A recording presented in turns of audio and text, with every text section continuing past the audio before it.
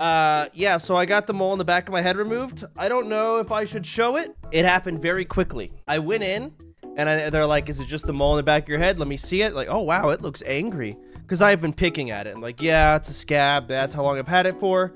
I asked if they think it's cancerous. The lady was like, no, I don't think it is. But do you want to remove it? I said, yes. She said, okay, we're going to shave it off. I'm like, that sounds awful. In the meantime, she put a needle in. That hurt, but whatever. The lady walked back in and I went on. I was like, yeah, everyone was telling me uh, you guys are going to freeze it off. It's like, no. I'm like, so you're not going to freeze it off? It's already off.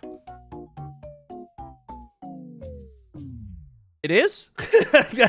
that's that's about how that interaction went. She's like, yep, shake it, a little vial. It's right here. I'm like, oh my God.